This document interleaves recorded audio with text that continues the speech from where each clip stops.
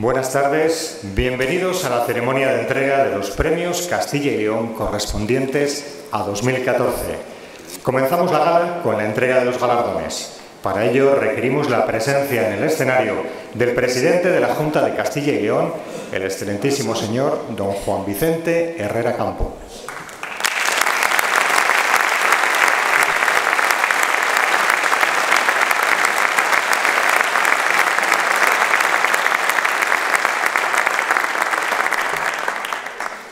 Premio Castilla y León de Investigación Científica y Técnica.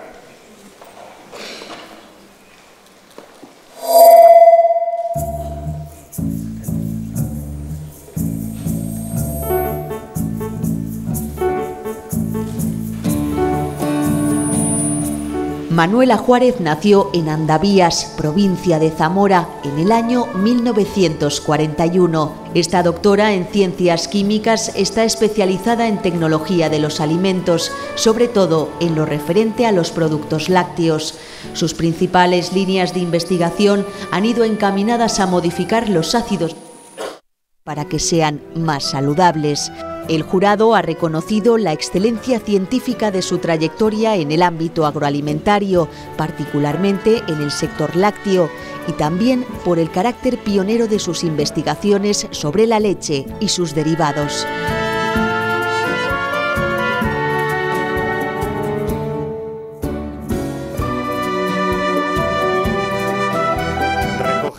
Castilla y León de Investigación Científica y Técnica, doña Manuela Juárez Iglesias.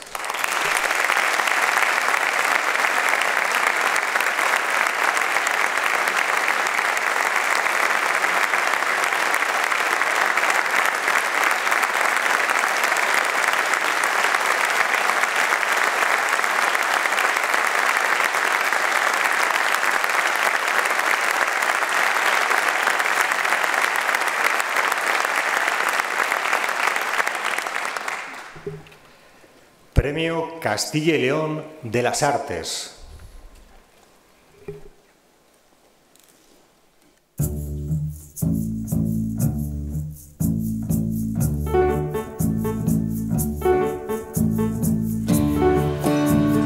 Amaya Arzuaga nació en 1970 en la villa burgalesa de Lerma. El espíritu emprendedor afloró en ella nada más finalizar sus estudios superiores de diseño de moda. Su nombre es su marca y se asocia a la originalidad y al atrevimiento de sus diseños. Cuenta con más de 200 puntos de venta, pero es en Lerma donde tiene su taller, donde todo nace. Su proyección internacional y su presencia en las grandes pasarelas del mundo hacen que sea una excepcional embajadora de esta tierra a la que tan vinculada se siente. El jurado ha querido destacar sobre todo la capacidad artística que le ha hecho merecedora de la Medalla de Oro de las Bellas Artes en 2005 y el Premio Nacional de la Moda en 2013. Consciente de su propia identidad, con el paso de los años, Amaya Arzuaga sigue fiel a sí misma.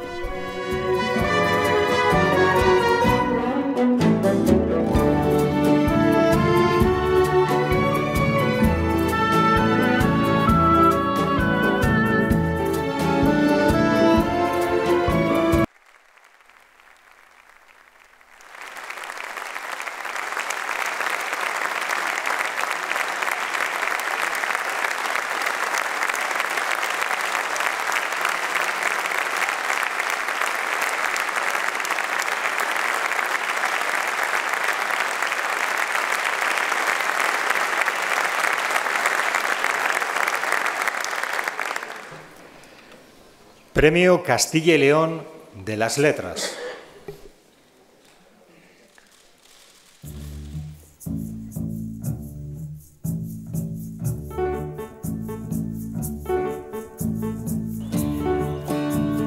Fermín Herrero nació en Ausejo de la Sierra, Soria, en 1963. El castellano puro que conoció de niño, el que se hablaba en el campo, ha marcado profundamente su lenguaje. Sus versos se han plasmado en una docena de libros de poemas. Cada día acude al instituto donde trabaja y allí siembra la semilla del amor a las letras como profesor de literatura. Con este premio se suma a una lista que inauguró Miguel Delibes y en la que figuran tres premios Cervantes. El jurado ha valorado su capacidad para conciliar la poesía clásica y la moderna con un lenguaje que rescata los pesares y sentires de las gentes del mundo rural. Destaca que escribe, además, desde una dimensión temporal distinta al ajetreo de lo inmediato, un tiempo en el que dignifica la humildad.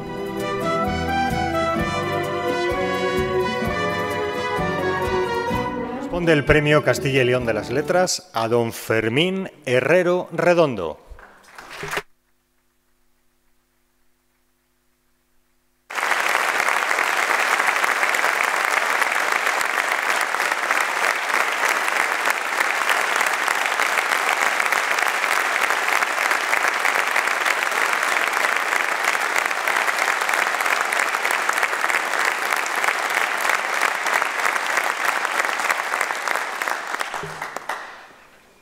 Premio Castilla y León de Ciencias Sociales y Humanidades.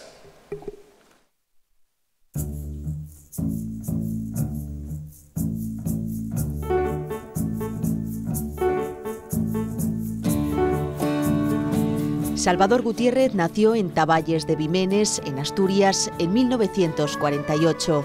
Desde principios de los 80 su vida ha estado ligada a León y a su universidad, donde lleva más de 30 años siendo catedrático de Lingüística General. Ha publicado más de 20 obras sobre sintaxis, semántica y gramática. Además, Salvador Gutiérrez ha sido discípulo y continuador de la Escuela Gramática del maestro Emilio Alarcos. Su dilatada trayectoria le llevó en 2007 a ocupar la silla S mayúscula en la Real Academia de la Lengua Española. El jurado ha valorado su aportación al conocimiento de la lengua española como herramienta vertebradora y de cohesión social.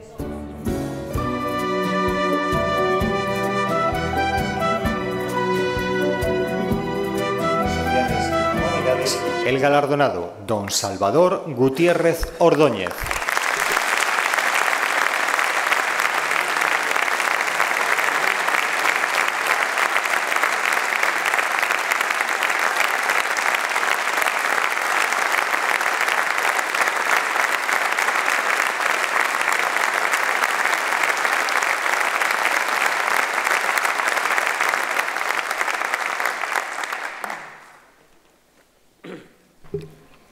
Premio Castilla y León de Protección del Medio Ambiente.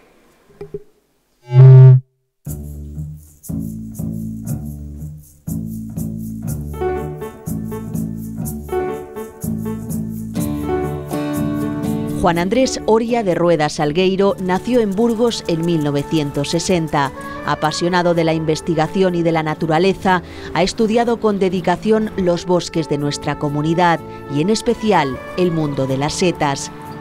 Catedrático en micología en la Universidad de Valladolid, su empeño es mostrar la importancia de los diferentes seres vivos, por minúsculos que parezcan, y difundir esos hallazgos, porque de la conservación de los recursos, como el agua o los suelos, dice, depende luego nuestra propia supervivencia.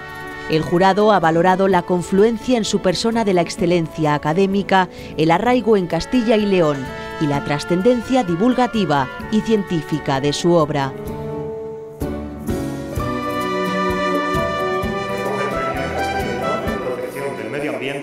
Galardonado don Juan Andrés Oria de Rueda.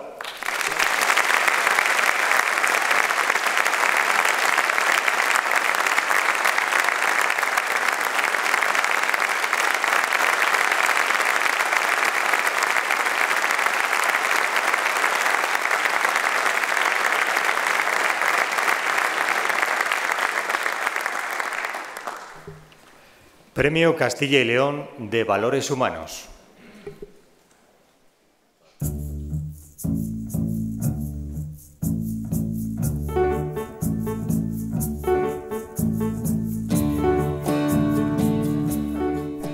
Romo nació hace 75 años en la localidad de Aldealengua, en Salamanca.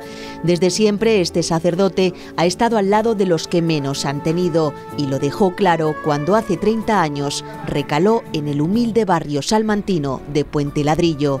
Su entrega y dedicación han sido decisivas para ganarse el corazón de sus vecinos. El jurado ha valorado sus esfuerzos desde la parroquia de Puente Ladrillo por lograr la integración sociolaboral y que haya dedicado su vida a los más desfavorecidos.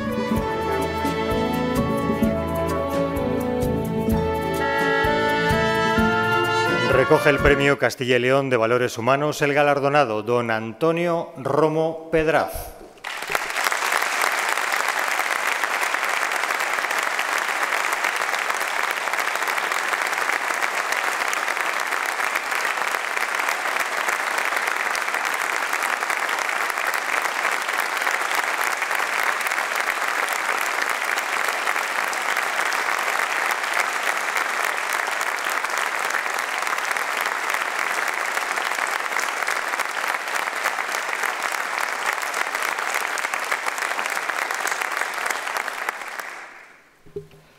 Premio Castilla y León de Restauración y Conservación del Patrimonio.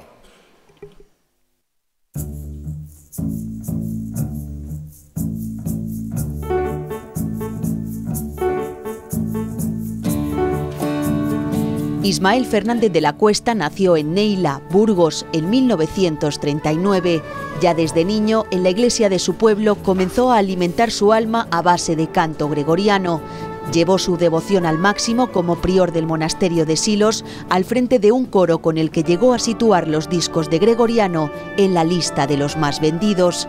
Abandonó la vida monacal para volcarse en la investigación, especialmente de la música medieval y renacentista. Ha trabajado de forma constante por recuperar algo tan invisible como la música, un patrimonio inmaterial que cobra vida cada vez que una nueva voz interpreta la más olvidada de las composiciones. El jurado ha querido destacar su brillante trayectoria en el campo de la musicología y su dedicación permanente a la difusión de lo que él considera la base y el origen, el canto gregoriano. Recoge el premio Castilla y León de Restauración y Conservación del Patrimonio el galardonado, don Ismael Fernández de la Cuesta.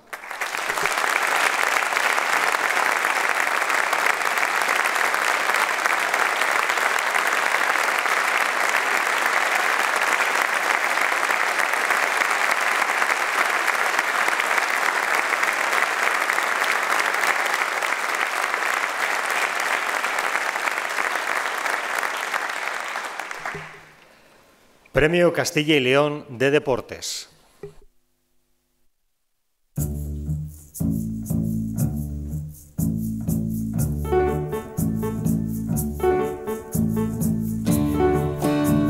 El Club Baloncesto Silla de Ruedas Valladolid lleva 20 años sobre las canchas, es el conjunto más representativo del baloncesto adaptado en la comunidad y uno de los grandes referentes en España. 17 temporadas consecutivas en División de Honor, campeón de la Copa de Europa en 2010 y campeón de Liga en 2011 han servido para que el jurado valore su mérito, su esfuerzo y su gran trabajo de equipo. Las barreras físicas y económicas no les han impedido crecer, han competido al filo y se han adaptado a todas las circunstancias adversas. Ahora este reconocimiento llega como el mejor trofeo posible para continuar con su afán de superación. El premio Castilla y León de Deportes en nombre del Club Baloncesto Silla de Ruedas Valladolid, su presidente, don José Antonio de Castro Blanco.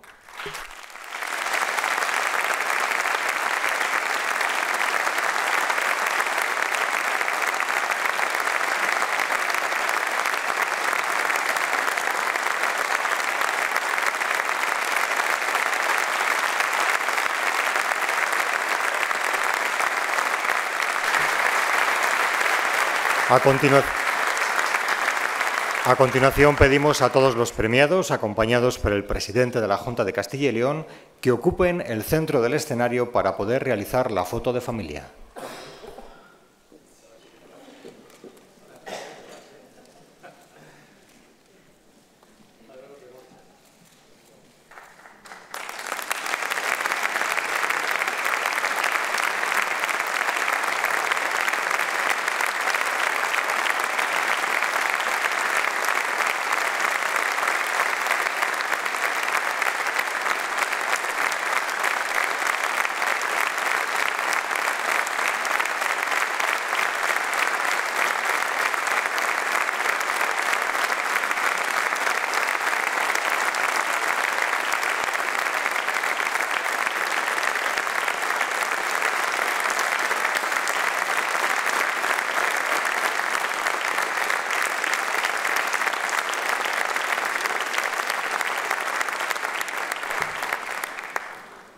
En representación de todos los galardonados, tiene la palabra el Premio Castilla y León de las Letras 2014, don Fermín Herrero Redondo. Excelentísimo señor presidente de la Junta de Castilla y León, autoridades, amigos, quiero en primer lugar agradecer en nombre de los premiados este galardón con el que nos han distinguido. Siento tener que hacerlo en estas circunstancias tan gozosas para todos, pero debo darles una pésima noticia. El mundo no tiene solución, o es muy improbable, a mi juicio, que la alcance. No acudiré a predicciones milenaristas ni a pavorosas proyecciones demográficas, impactos de cuerpos celestes con explosiones nucleares o distopías a partir de seguros desastres ecológicos o del colapso del planeta debido a la sobreexplotación. No, sencillamente lo sé de mala tinta porque me voy conociendo bastante bien a mí mismo y sin embargo he resultado elegido para endilgarles este discurso. A este respecto,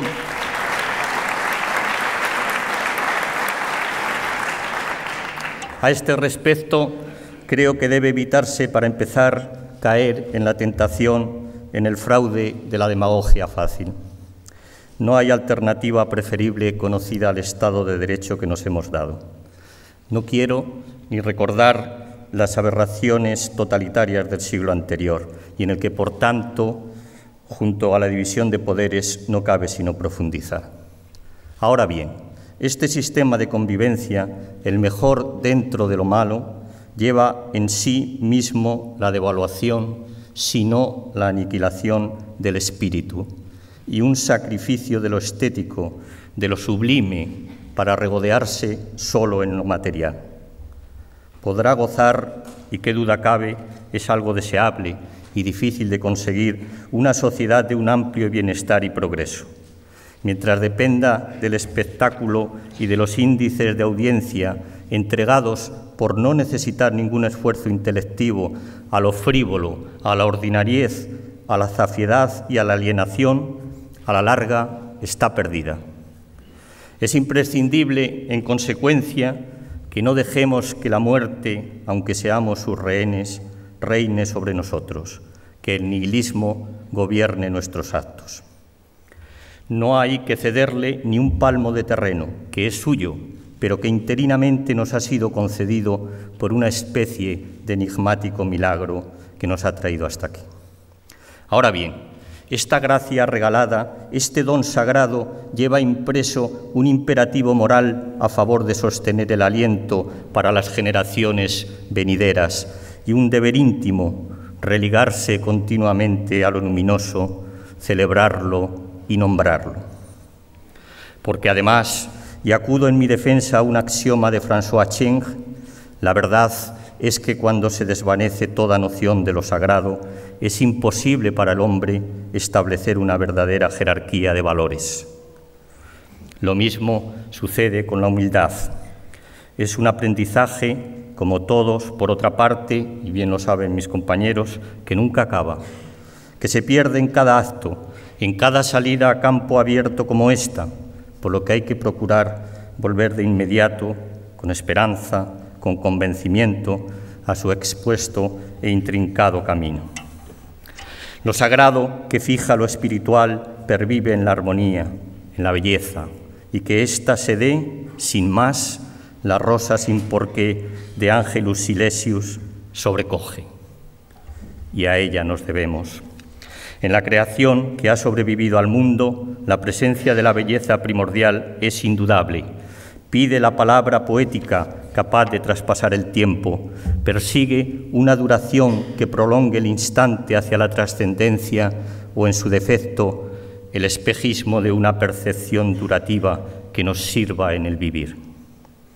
Por eso, como necesidad acuciante, como mester de realización y de superación, me di hace años a la poesía. Otros, los aquí premiados, optaron por la ejemplaridad en otras profesiones. En este sentido, cualquier actividad que no sea onerosa para el vecino, ni naturalmente para el bien público, me parece válida. La poesía, en este orden de cosas, tiene una ventaja grande de partida. Es una entrega en vez de un oficio y, por añadidura, completamente inútil en cuanto evita de entrada cualquier trato con el pragmatismo. En esto, como en tantas cosas, por ejemplo a la hora de escoger como amigos a los buenos, tuve suerte. No me equivoqué, puesto que elegí lo más sencillo para escapar, como decía Petronio, al viento, las asechanzas y la pálida imagen de la muerte. Así que, aunque el mundo me resulte ininteligible y piense en consecuencia que no tiene solución, es indudablemente hermoso. Es más, hasta es posible que la belleza y la verdad que arrastra, tal y como presagiara Dostoyevsky, atañan a su salvación, siquiera sea porque le proporcionan protección y cuidado. No obstante, y esto es lo que quería decir al principio, para intentar arreglarlo, de tener arreglo, por lo pronto para no estropearlo más, hay que empezar en carne propia, sin arrogarse superioridad moral alguna, para después, a ser posible, salirse mediante la bondad de uno mismo y darse a los demás.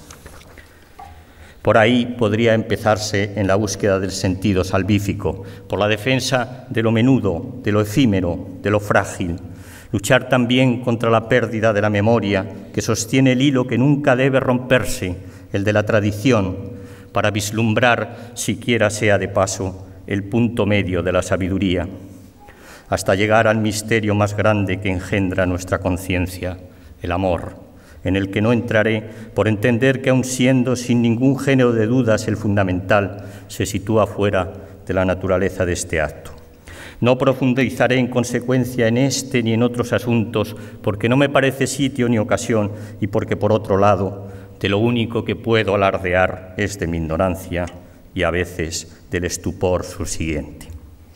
También, eso sí, de mis lecturas, que cada 15 días comparto desde hace un tiempo dentro del impagable suplemento de culturas del norte de Castilla, La sombra del ciprés, en el que me invitó a participar desde el principio su director y entre ellas, por supuesto, las de quienes me han precedido en este trance.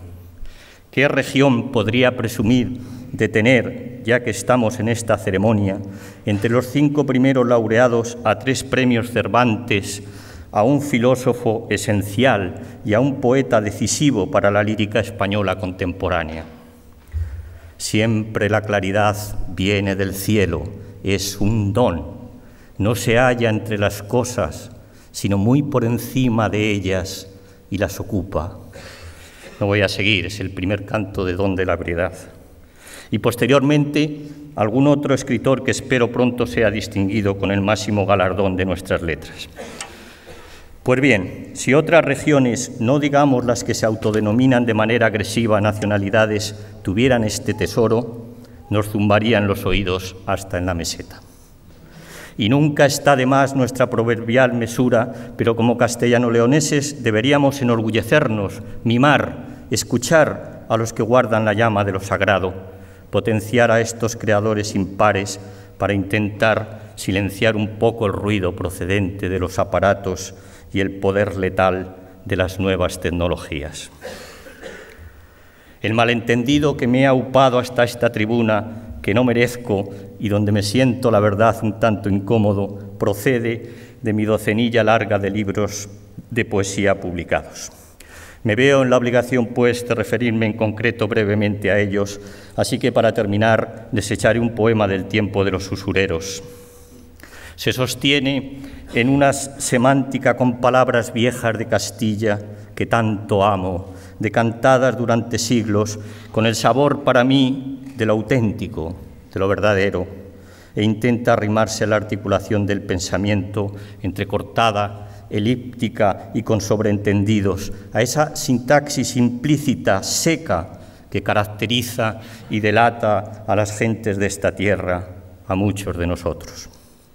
Ambos aspectos proceden de una civilización campesina a punto de finiquitarse, la que conservaba un castellano natural propio por caso de la hermosura de la prosa de Santa Teresa de Jesús. Son versos que hablan en su nombre y en el de la generación de mis padres que apenas pudieron ir a la escuela porque los pilló la guerra y luego sufrieron los años de la cáscara amarga. Son palabras que vienen de un lugar olvidado, sumido en la condena del abandono. Vienen desde el alto llano numantino y machadiano, desde una comarca con menos densidad de población que el desierto del Sáhara. Más allá del poema, son también una llamada de socorro, de no mediar un solidario y sostenido apoyo institucional, más temprano que tarde, la provincia de Soria desaparecerá como tal. Y lo digo tirando piedras a mi propio tejado, porque allí, con la naturaleza apenas mancillada por el hombre, sin mundo, la poesía está, anda suelta. Ahí va, pues, para concluir el poemilla titulado Por razones obvias catastro. Está en segunda persona porque me lo dirigía a mí mismo y suelo leerlo en público de cuando en cuando para recordarme quién aspiro a ser y de dónde vengo. Tal vez, si no de consuelo ni de compañía, por lo menos a algunos de ustedes les pueda servir de cierto provecho. Catastro. Donde amapola di ababol, y si se puede, cardo, y al vino, vino. Donde collado, altozano o alcor, otero, escribe llanamente cerro, alto, cuesta, loma. No digas lo que nunca se dijo, lo que no se dice en tu pueblo.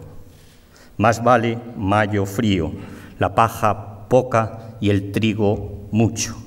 No impongas a la tarde la añoranza si es falsa o aprendida Anota simplemente el silbido del viento en los linares. No recuerdes la muerte aunque te tenga, piensa que de tanta mies se emboza el peine cada día, que eres este momento.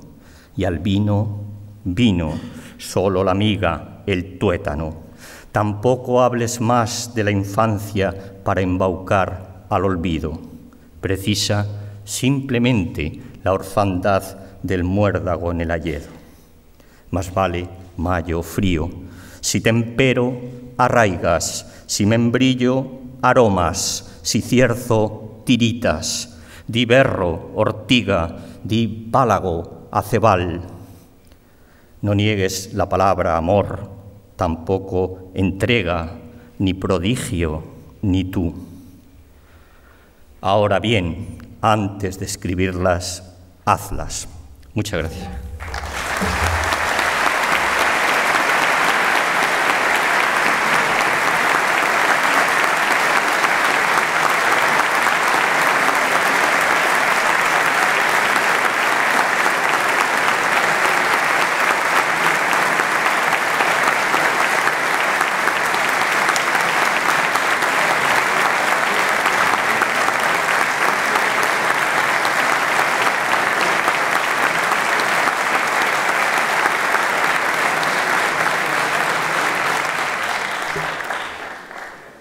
Corresponde un año más clausurar esta ceremonia al presidente de la Junta de Castilla y León, el excelentísimo señor don Juan Vicente Herrera Campo.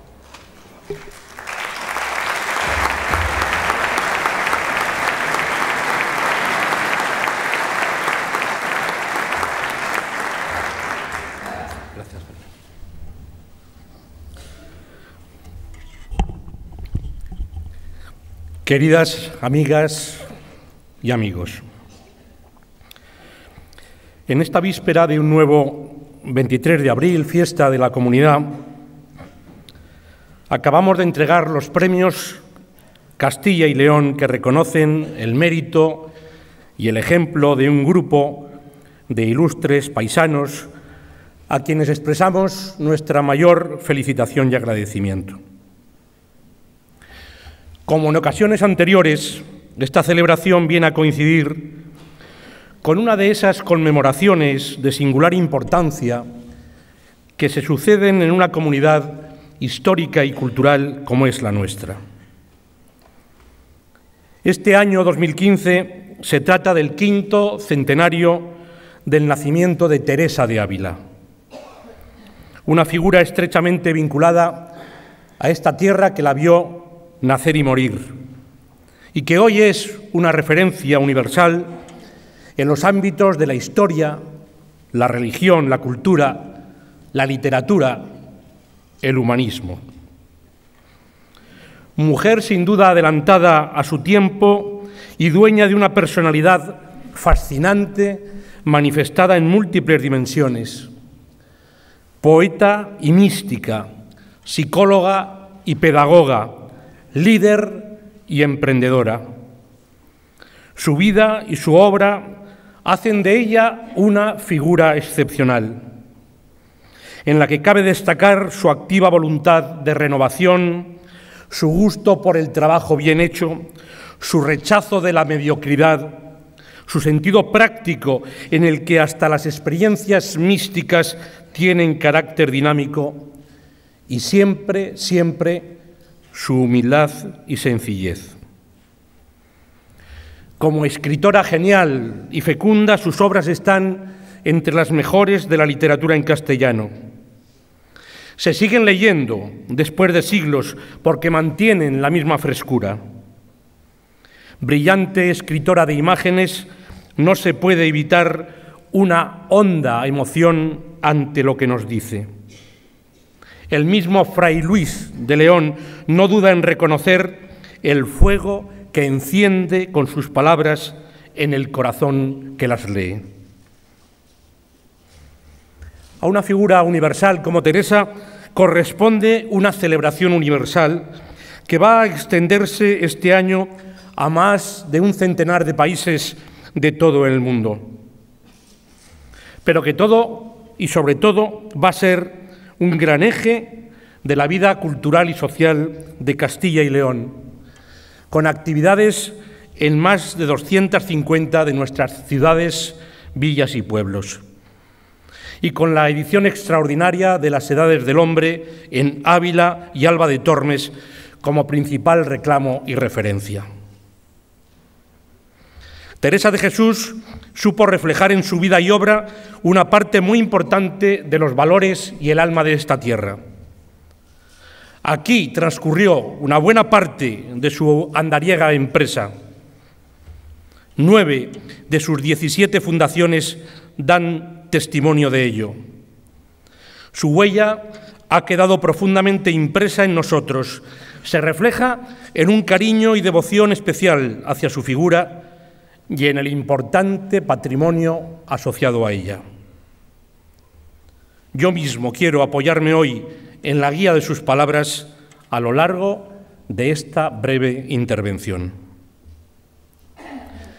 Queridas amigas y amigos, hace un año compartíamos la esperanza de alcanzar pronto un horizonte más abierto y un tiempo nuevo de recuperación. Hoy, aunque muchos datos y previsiones nos indican que estamos recorriendo ese camino, quiero reiterar en este acto mi sincera convicción de que ninguna estadística, ningún pronóstico, ningún cuadro macroeconómico puede hacernos olvidar dos realidades fundamentales. La primera es que honestamente no podremos hablar con respeto de esa recuperación y crecimiento hasta que tantos paisanos nuestros que hoy carecen de un puesto de trabajo tengan la oportunidad de alcanzarlo, o hasta que todos los que están en riesgo de exclusión o tienen sus necesidades vitales amenazadas vean garantizado su bienestar personal y familiar. Será entonces, y sólo entonces, cuando aquellos términos tengan su sentido justo y real. La segunda es que este mejor momento actual no es para nada fruto de la casualidad. Como la propia Teresa de Ávila afirmaba, no es bien esperar milagros. Y la mejora paulatina de la situación no es, en efecto, fruto de ningún milagro, sino del esfuerzo y sacrificio continuado de todos y cada uno de los castellanos y los leoneses. Como siempre, en ellos está nuestra más sólida esperanza como proyecto colectivo. Castilla y León solo se entiende desde la esperanza en sus gentes y, desde la esperanza de sus gentes. La nuestra debe ser una tierra esperanzada y de esperanza. Por eso, cuanto mejoremos, siempre será fruto de cada trabajador que acude a su empresa afrontando las incertidumbres sobre su futuro, de cada comerciante que sube por la mañana la persiana de su tienda, de cada empresario que lucha para sacar adelante su proyecto y a quienes colaboran con él, del esfuerzo de cada agricultor ante los riesgos que dictan el sol y la lluvia. Será fruto de la solidaridad de tantas familias y personas ante las situaciones de necesidad, de la dedicación de los servidores públicos que también en momentos muy difíciles para ellos hacen posible que nuestros hijos sigan recibiendo una educación de calidad, que nuestros enfermos dispongan de una buena atención sanitaria y que nuestros mayores o dependientes tengan los mejores cuidados. Nuestra sabia Teresa decía que no hay cosa que más importe que la humildad y que es una gran virtud tener a todos como mejores que nosotros. Certeros consejos a los que siempre es oportuno acudir especialmente desde las responsabilidades públicas. Humildad, ante todo, para reconocer y valorar la importancia esencial de las personas, de cada persona, y el imprescindible protagonismo que siempre tendrá su iniciativa y con ella la iniciativa de toda una sociedad activa.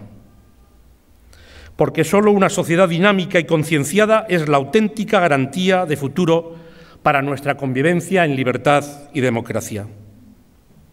Y dentro de ella, como su auténtico nervio vital, no debemos cejar nunca en el reconocimiento de los mejores, de sus miembros más innovadores y comprometidos, a los que también se dirige desde la historia nuestra santa, que quiere mucho avisar de que miren no escondan el talento, porque en todo es menester experiencia y maestro. Experiencia y maestría, compromiso y ejemplo que hoy la comunidad quiere reconocer en los premios Castilla y León que presiden, ellos sí, este acto institucional. Para Teresa de Ávila, los buenos libros son alimento para el alma como la comida lo es para el cuerpo. Ella misma fue escritora de expresión viva, resuelta elegante, sin adornos. Por ello gustaría, sin duda, de la poesía austera y sin artificios del nuevo Premio de las Letras Fermín Herrero Redondo, otro escritor que, como ha demostrado aquí en su intervención, posee una tremenda naturalidad y una gran hondura, que considera a la poesía como el mundo en su mejor lugar. Desde sus tierras altas sorianas, fijaros qué hermosura, defiende que el espíritu castellano es lo local sin paredes. Clama en favor de lo humano en estos tiempos en que el dolor se reduce a meras estadísticas. Evoca el tiempo detenido y esos dominios del silencio que son muchos de nuestros pueblos y lugares, los, en los que es virtud la templanza y no se pierde el hombre por el lucro o la apariencia. Y coincide casi textualmente con la santa en que es fundamental mantener el hilo de la tradición e intentar sostener o mejorar el mundo a través de las cosas pequeñas. Cuando la propia Teresa de Jesús decía que no teniendo yo que hacer estoy mala, no podía saber que tendría en el Premio de Valores Humanos Antonio Romo Pedraz un distinguido seguidor, que tiene bien presente cómo la santa no se jubiló nunca y vivió feliz, y que está convencido de que el trabajo lo cura todo, y no es necesario alejarse de las ocupaciones útiles para alcanzar el sosiego de la paz. También le une a ella otro rasgo esencial, Ambos, en lugar de ver problemas, vieron retos y oportunidades que afrontar con un emprender, un caminar, un soñar. En el Padre Antonio, el reto de avivar y mantener las llamas de la solidaridad con los más humildes y los menos favorecidos, y de enseñarnos a todo que mientras esa solidaridad perviva, cada persona, cada familia, cada barrio, cada pueblo y la propia sociedad tendrán siempre esperanza. Desde la otra orilla de la vida, pero también ejemplo de la importancia y superioridad que Teresa atribuía a las obras y al trabajo, viene el nuevo Premio de las Artes, Amaya Arzuaga Navarro. La suya ha sido casi desde niña una labor continua para demostrar con éxito que el arte también anda entre costuras, a través de la originalidad y atrevimiento de unos diseños que convierten su creación en un acto artístico, que la dotan de una imagen personal, propia e intransferible, y que impulsan la proyección internacional de su nombre y su trabajo, incluso en los escenarios y mercados más severos, donde con ella va también siempre la imagen y el nombre de la Castilla y León más actual y moderna. Y es que Amaya ha llevado siempre el orgullo de su origen y por eso a nosotros nos llena de satisfacción contar con ella como una de nuestras mejores embajadoras. Teresa aconsejaba a sus monjas llaneza y simplicidad en el hablar, un objetivo de calidad al que está dedicando su vida nuestro premio de Ciencias Sociales y Humanidades Salvador Gutiérrez Ordóñez. Es un destacado discípulo y continuador de la Escuela de Gramática de Emilio Alarcos, que precisamente le precedió en este mismo premio hace ya algunos años. Académico y sabio, ha dejado constancia de su vasta experiencia lingüística en obras canónicas de referencia como son la Nueva Gramática de la Lengua o el Diccionario Panhispánico de Dudas. Activo defensor de la lengua española como organismo vivo y elemento de cohesión social, considera que las aportaciones de todos quienes en el ancho mundo la hablamos y la escribimos, como las carabelas, hacen el viaje de ida y vuelta, contribuyendo con ello a forjar y consolidar la fraternidad de una amplísima comunidad humana. La, excelencia académica la trascendencia divulgativa de su obra o el exhaustivo conocimiento de Castilla y León son solo algunos de los méritos que justifican el Premio de Protección del Medio Ambiente otorgado al catedrático Juan Andrés Oria de Rueda Salgueiro. Desde esa excelencia y ese conocimiento ha difundido la extraordinaria biodiversidad de nuestra tierra y el esencial papel que la cultura tradicional tiene en su protección. De manera simultánea ha promovido y puesto en valor el aprovechamiento racional de sus recursos naturales y de manera especial de los micológicos como poderoso atractivo turístico y elemento importante de nuestra rica y variada gastronomía. Un esfuerzo que nos recuerda sin duda la sentencia teresiana de que también entre los pucheros anda el Señor. 500 años después del nacimiento de Teresa de Ávila, mucho tenemos que avanzar aún en el reconocimiento social de la igualdad esencial entre mujeres y hombres. La valorización aún necesaria del papel y del trabajo de la mujer está sin duda presente en el nuevo premio de investigación científica y técnica que por primera vez distingue a una mujer en la persona de Manuela Juárez Iglesias. Se trata de una infatigable investigadora, entusiasta de la docencia, gran directora de equipos y notable divulgadora. Destacan sus pioneros trabajos en el campo de los productos lácteos y en la mejora de la competitividad de un sector que tiene tanta trascendencia económica y social en el campo y en la industria de nuestra comunidad un esfuerzo que la ha convertido en una prestigiosa referencia nacional e internacional en estas materias. algo que ha hecho manteniendo siempre el amor por su tierra natal, donde aprendió, según sus propias palabras, que lo más importante en la vida es trabajar duro y tener ética. Trabajes en el campo que trabajes. Dicen que Santa Teresa sabía mal cantar, pero sí apreciar la música, hasta el punto de ser una maestra en el arte de las transformaciones a lo divino, en las que quienes carecían del conocimiento musical necesario para componer recurrían a la música popular y sustituían la letra original por sus propios versos. Sin duda le hubiera complacido mucho conocer la labor de nuestro Premio de Restauración y Conservación del Patrimonio, Ismael Fernández de la Cuesta, con quien también compartiría seguro la cita de San Pablo de que la fe viene por el oído. Investigador, musicólogo, intérprete, promotor y divulgador, tuvo como provechosa escuela el monasterio benedictino de Santo Domingo de Silos, convirtiéndose en uno de los mayores expertos mundiales del canto gregoriano e impulsor determinante de su difusión reciente entre el gran público. Su perfil intelectual compone la figura del humanista empeñado en la preservación de ese importantísimo patrimonio inmaterial, que es nuestro más antiguo y venerable legado musical y que defiende y define como algo muy vivo.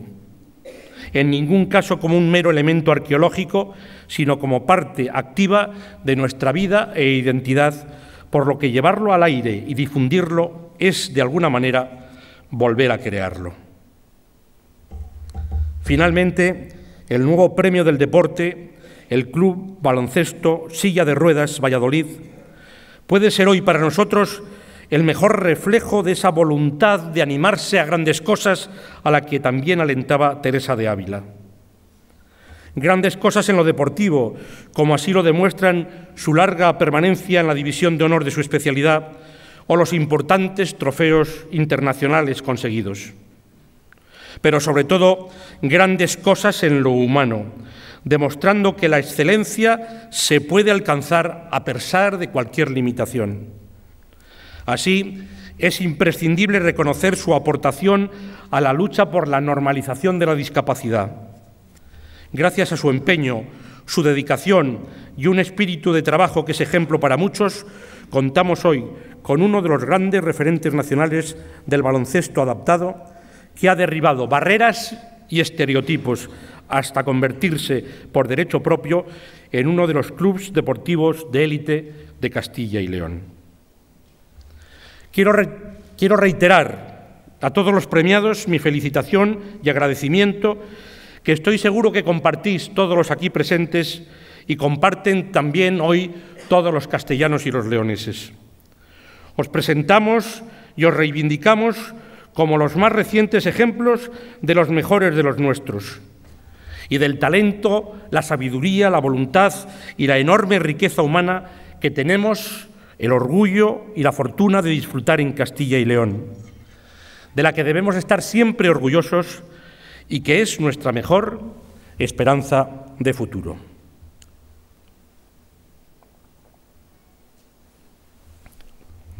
Queridas amigas y amigos,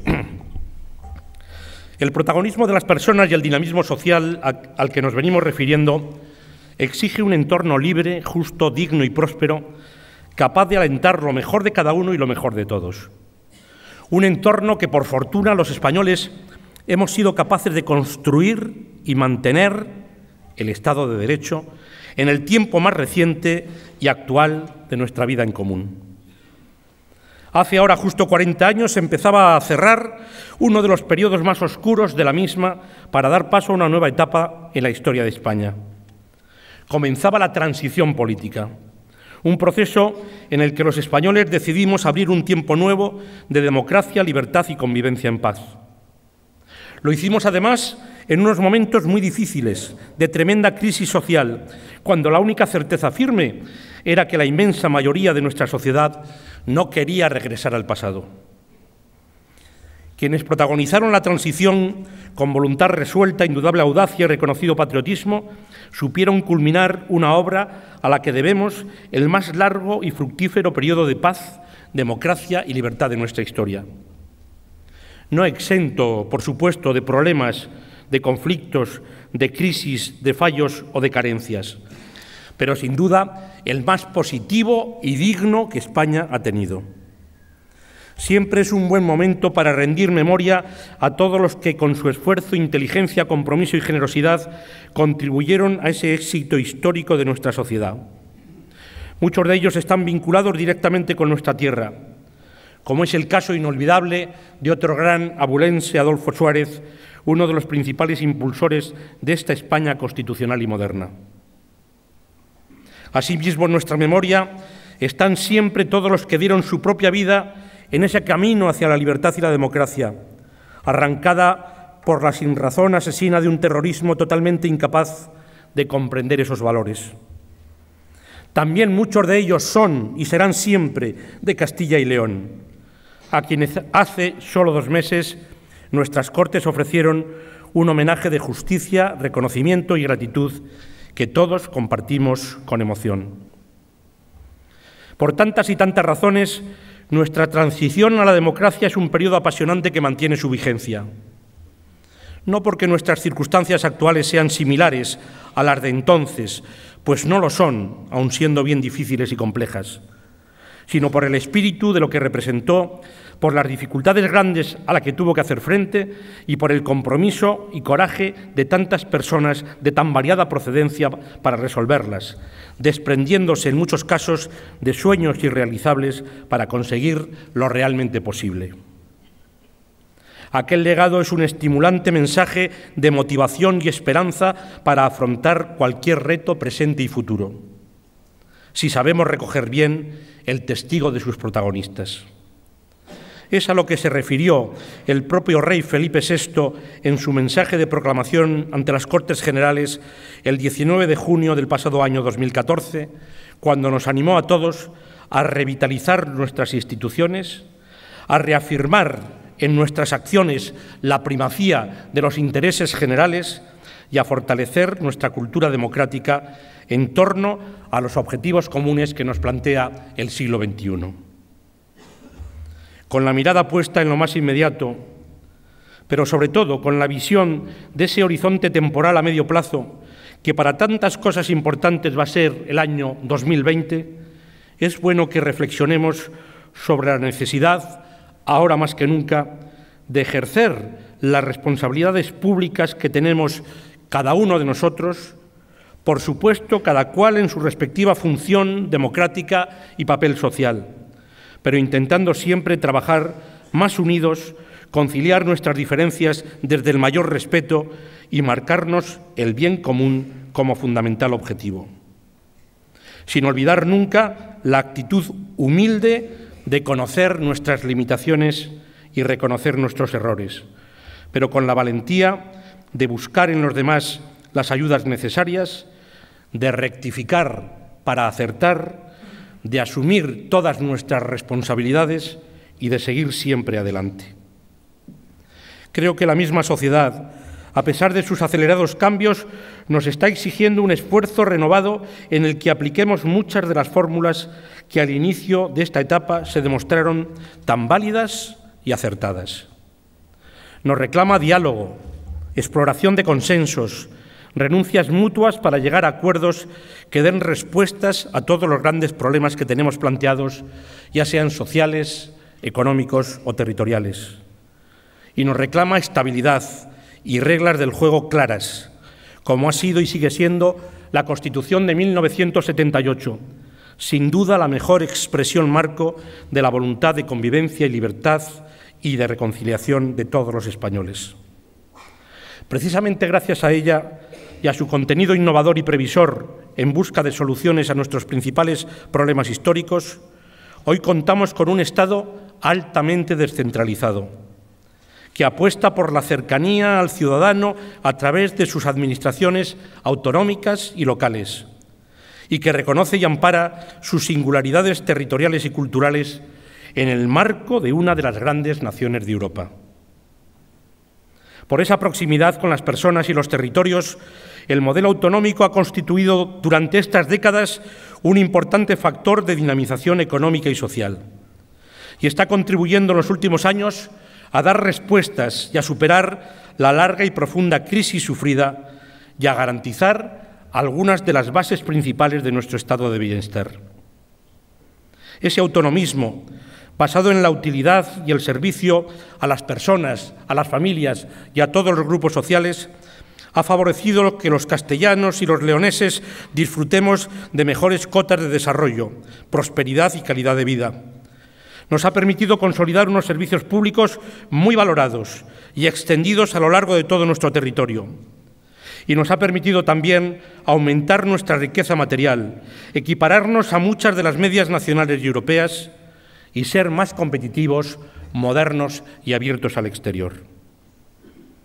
Por ello, frente a quienes consideran agotado este modelo y frente a quienes quieren deshacerlo por exceso o por defecto, manifiesto una vez más mi firme convicción que me gustaría compartir con vosotros de que el Estado constitucional de las autonomías continúa siendo esa piedra angular sobre la que se asienta nuestro modelo de convivencia democrática y sobre la que, sobre todo, merece la pena seguir trabajando junto a todos nuestros paisanos por el mejor futuro de Castilla y León en su actual marco español y europeo. Una experiencia y esperanza de futuro que tanto depende del aprovechamiento de cuatro importantes fortalezas que tenemos como comunidad y que deberían hoy estar muy presentes en nuestro corazón y en nuestra mente en una fiesta y en un acto como este, y que son nuestros valores esenciales, la lengua, el patrimonio histórico, cultural y natural, que son sin duda rica y plural seña de identidad, pero también factor de crecimiento, cohesión y empleo. El municipalismo, la apuesta de tantos hombres y mujeres de Castilla y León por su amplio medio rural como espacio de vida y de trabajo en la agricultura y en la ganadería o en otras actividades y que merecen las mismas garantías de servicios públicos de calidad y de oportunidades que los habitantes de las ciudades. El esfuerzo permanente de diálogo social y de pacto político, fundamental para abordar con eficacia y éxito los grandes retos sociales, económicos y políticos a los que nos tenemos que enfrentar, empezando por los objetivos prioritarios de la consolidación del crecimiento y la urgente y más intensa creación de empleo.